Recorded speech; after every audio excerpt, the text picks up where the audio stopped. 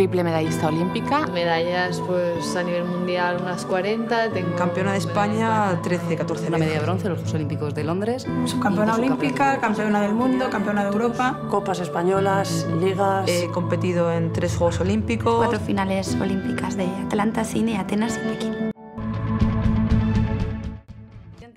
Campeonatos del mundo, campeonatos de Europa, hazañas individuales. En los últimos años estamos viviendo la eclosión del deporte femenino en nuestro país. Las deportistas españolas han dado un golpe sobre la mesa para conseguir un hueco como profesionales, arrancar segundos en televisión o incluso conquistar disciplinas como el badminton o la alterofilia. Sin embargo, la desigualdad sigue siendo un hecho y en este contexto nace Las hijas de Cinisca, el documental dirigido por Beatriz Carretero que pone voz a 13 mujeres, 12 deportistas que han cosechado grandes éxitos y una periodista, Paloma del Río. A la hora de contactar con ellas y de trabajar con ellas no ha sido problemático en absoluto, todo lo contrario, ha sido muy fácil. En todo momento querían estar en la película, apoyarla.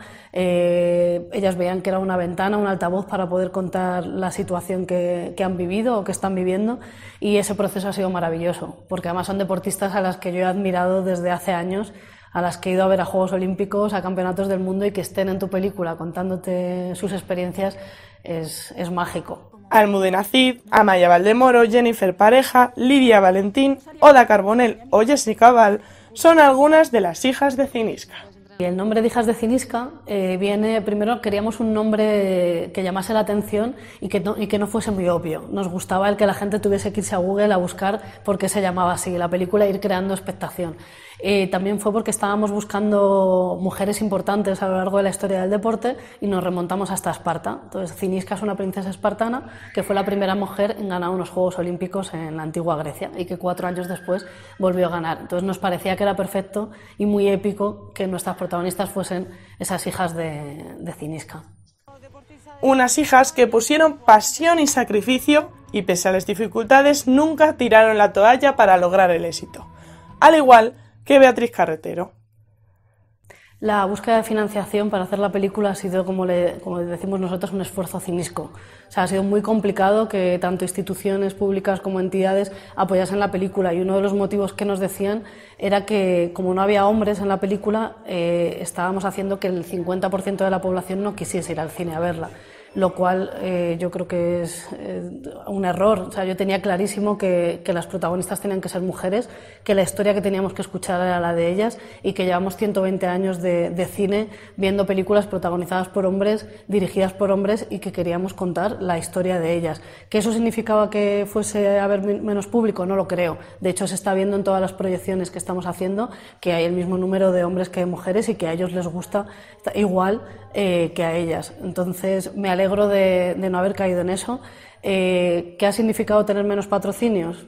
Eh, lo sé, pero quería ser fiel a lo, que quería contar.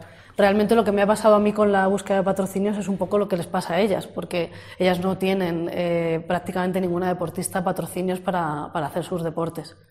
Sin embargo, sus hazañas les han otorgado la visibilidad que se merecían, aunque el mundo del deporte sigue siendo un mundo desigual. Eh, hace nada, el otro día me decían en un coloquio que bueno, que habrá cambiado de hace cuatro años cuando empecé ahora, pero hace unos poquitos meses vimos que le regalaban a la campeona de squash, creo que era un vibrador y una crema depilatoria, entonces esto sigue siendo el día a día de las deportistas, entonces creo que es una cuestión de educación, de mm, patrocinios, de una ley del deporte que se cumpla, de concienciación, de visibilidad en los medios de comunicación y que tenemos que empujar desde, desde todas las partes posibles, porque seguimos viéndolo cada, cada día, estas desigualdades.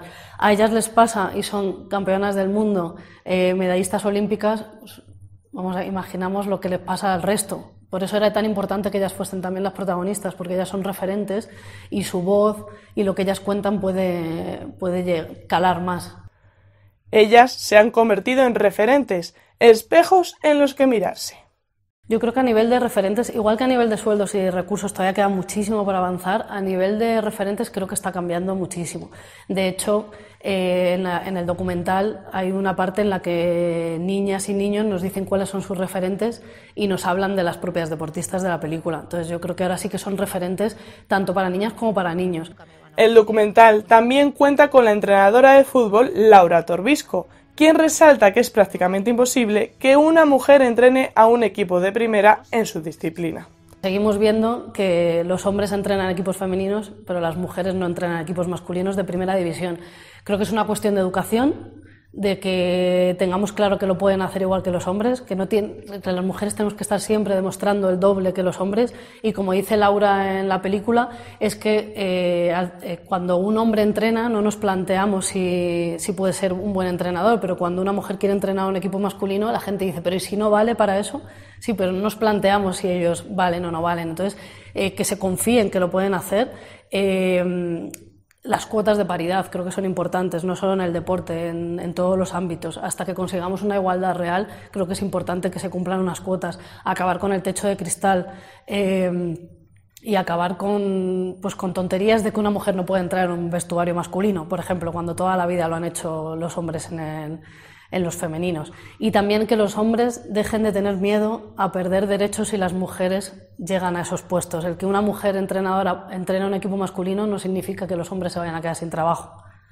Las hijas de Cinisca también muestran varios titulares de prensa deportiva donde destacan más las cualidades físicas que deportivas. Claro, por un lado no se sorprenden porque es el día a día y lo han visto otras veces, pero por otro lado, eh, lo podéis ver en la película, les afecta muchísimo el verlos todos juntos. Hay algunas que están muy indignadas, otras enfadadas, otras muy tristes, eh, porque verlo todo junto, como dice Amaya Valdemoro, te deja el cuerpo cortado. Entonces, eh, aunque no, por desgracia, no es sorpresa porque estamos acostumbrados a verlo, sigue impactando y sigue haciendo muchísimo daño.